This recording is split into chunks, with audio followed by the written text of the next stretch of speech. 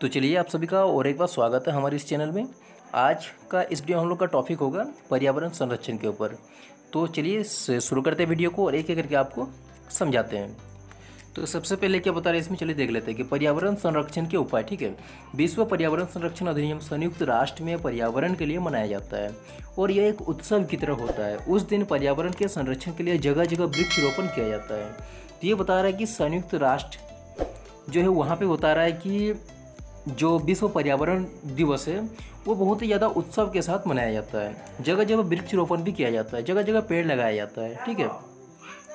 Next में कि हमारे देश में अक्सर ऐसा होता है कि कोई भी बड़ा कार्य होता है तो हम उम्मीद करते हैं कि वो सरकार करेगी। जैसे पर्यावरण संरक्षण दुर्भाग्य से कुछ लोग मानते हैं कि केवल सरकार और बड़ी कंपनियों को ही पर्यावरण संरक्षण के लिए कुछ करना चाहिए, परंतु ऐसा नहीं है।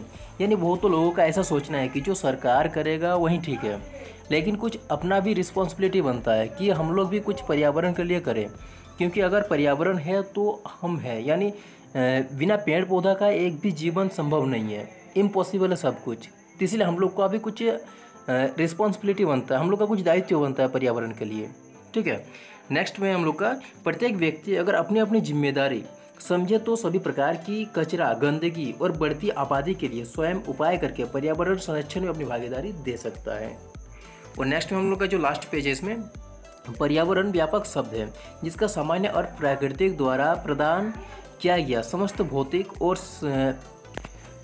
समस्त भौतिक और सामाजिक वातावरण इसके अंतर्गत जल, वायु, पेड़, पौधे, पर्वत, प्राकृतिक संपदा सभी पर्यावरण संरक्षण के उपाय में आते हैं। अगर पर्यावरण के बारे में जानेंगे हम लोग कि क्या क्या पर्यावरण से रिलेटेड है तो ये सभी चीज़ें पर्यावरण के अंतर्गत आते हैं। जल है, वायु, पेड़, पौधे, पर्वत, प्राकृतिक समुदाय सभी, ठीक है? तो ये था हम लोग आज का टॉपिक पर्यावरण संरक्षण। अगर आपको अच्छा लगा होगा वीडियो तो लाइक कीजिएगा, चैनल को सब्सक्राइब कीजिएगा। मिलते हैं नेक्स्ट वीडियो में। Thanks for watching